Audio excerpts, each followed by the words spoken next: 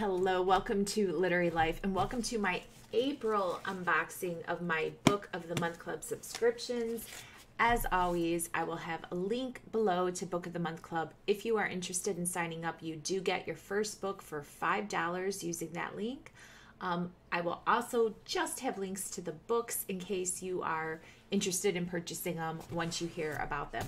The way Book of the Month Club works, for those of you not yet familiar, they released now anywhere from five to seven books a month for their main selections. And then on top of that, they'll release an additional two to four, I've seen, add ons a given month.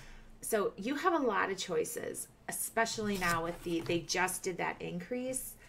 And on top of that, though, you need to know you can only select up to three books in one account shipment. So from your account, you can ship one box a month.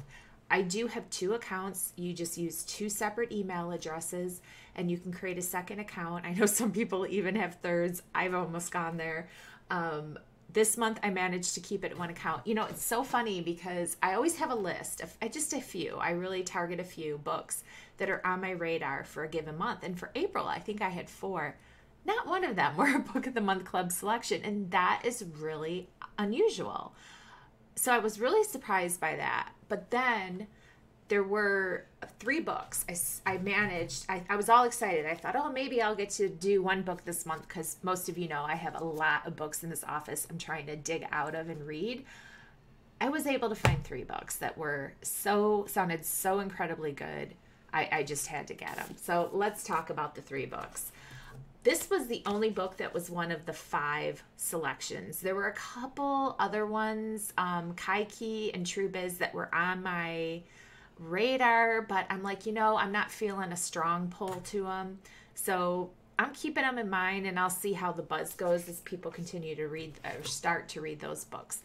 This, however, this is a narrative nonfiction book called Bittersweet by Susan Cain. Now, Susan Cain wrote the book Quiet.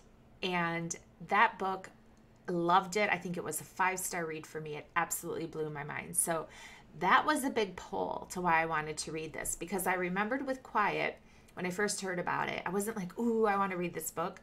Yet when I read how Susan Cain presented the information, it, it was remarkable. And so she definitely became an author that was on my radar. So now she has written Bittersweet, and here she's urging society to cultivate space for the undervalued, indispensable introverts among us. No, sorry, that was in Quiet.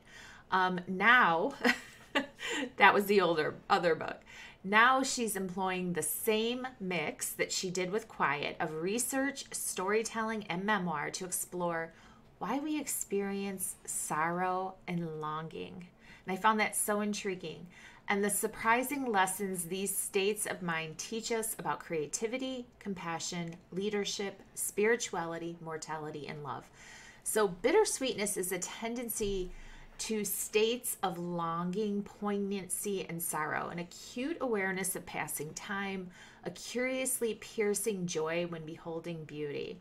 It recognizes that light and dark, birth and death, bitter and sweet are forever paired a song in a minor key, an elegant elegiac, elegiac, I'm totally mispronouncing that, I'm sure, poem, or even a touching television commercial, all can bring us to the sublime, even holy state of mind, and ultimately to greater kinship with our fellow humans. And bittersweetness is not, as we tend to think, just a momentary or feeling, a momentary feeling or event. It's also a way of being, a stored heritage, our artistic and spiritual traditions, amplified by recent scientific and management research, teach us its power. So, Cain's going to show us how bittersweet, a state of mind, is the quiet force that helps us transcend our personal and collective pain. If we don't acknowledge our own sorrows and longings, she says, we can end up inflicting them on others via abuse, domination, and neglect. And these are, I feel like, huge themes in the world today. But if we realize that all humans know or will know loss and suffering, we can turn toward each other and we can learn to transform our own pain into creativity, transcendence, transcendence, and connection. When I read the description for this book, so A, I told you, I was totally pulled in because of who the author was and what she had done with the other books she had written. Amazing. And then I realized, you know, we are surrounded by so much negativity, so much pain and angst um, in our media, in, in our conversations, our in our interpersonal dialogues that this for me, I have a couple other books I'm going to pair this with. It's the perfect way to finish a literary journey to really experience a way of finding a state um, above to kind of transcend beyond that, but yet to appreciate that this is a part of life, these feelings, and it just it sounded absolutely perfect, and like it was one of those books that once you read it, it will change the way you think about the world and you live the way you live. Okay, then one more nonfiction book. This is a collection of essays. This was one of the add-ons. Bomb Shelter, Love, Time, and Other Explorations. So this is going to be a fast read. It's quirky, it's a mama drama, and it's literary. Um, so a lifelong worrier, the author here, Philippat, Philippat, also kept an eye out for danger, a habit that only intensified when she became a parent. So I had resonated right there because I, I have anxiety. I worry about everything every day all day. So i'm like okay this is this is my language. So and i have a literary journey i'm putting together that was around these kind of experiences and mental states. So i'm like perfect this will round it out. Um, but she looked on the bright side too believing that as long as she cared enough she could keep her loved ones safe. Then in the dark of one quiet pre-dawn morning she woke abruptly to a terrible sound and found her teenage son unconscious on the floor. In the aftermath of a crisis that darkened her signature sunny spirit, she wondered if this happened, what else could happen? And how do any of us keep going where when we can't know for sure what's coming next?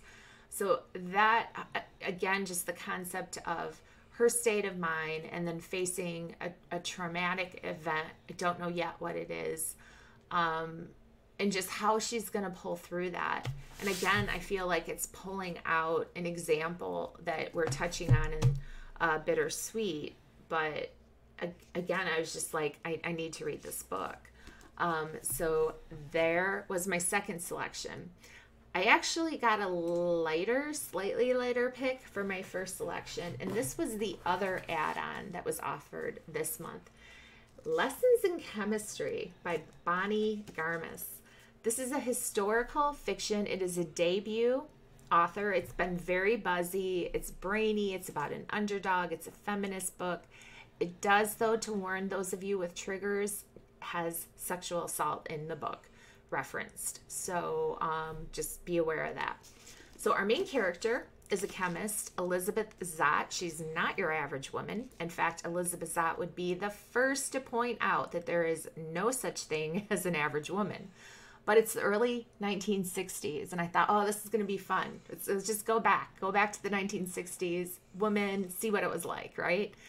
And all her male team her all male team at hastings research institute take a very unscientific view of equality except for one calvin evans the lonely brilliant nobel prize nominated grudge holder who falls in love with of all things her mind true chemistry results. But like science, life is unpredictable. And that is a theme coming out of this book here, which is why a few years later, Elizabeth Zott finds herself not only a single mother, but the reluctant star of America's most beloved cooking show, Supper at Six. Elizabeth's unusual approach to cooking, and here's the here's the way she talks. Combine one tablespoon acetic, acid with a pinch of sodium chloride. I'm gonna I'm gonna really enjoy this. Proves revolutionary. But as her following grows, not everyone's happy because, as it turns out, Elizabeth Zott isn't just teaching women to cook, she's daring them to change the status quo. Laugh out loud funny, shrewdly observant, and studded with a dazzling cast of supporting characters, this is an original and vibrant as the protagonist we're going to meet. And I just, absolutely adored that when I read about it. And I feel like right before the selections came out, I started seeing a lot of buzz around this book on social media, and it caught my attention. And then when I saw it, I, I read the description. I was like, oh yeah, oh yeah, this is my book. I didn't show you guys this. You do get a little bookmark every month with Book of the Month Club, and it they always have a fun little quote. So this month's is use me or lose me. So that is it. Those were my three selections. As always, link below if you choose to sign up and thank you, or the links to the books are also below. Hit subscribe and join if you're not already. We will be talking about a lot of book content on the channel. And other than that, you, several of you, Book of the Month Club subscribers, let me know what you grabbed this month or if you've read any of these books. I always love to hear people's reactions, especially when they're different than mine. I think it's so intriguing. You know, we all have our own perceptions. It's fun. Let's go read some books. Thank you, as always, for watching and being a part of my literary life. Happy reading.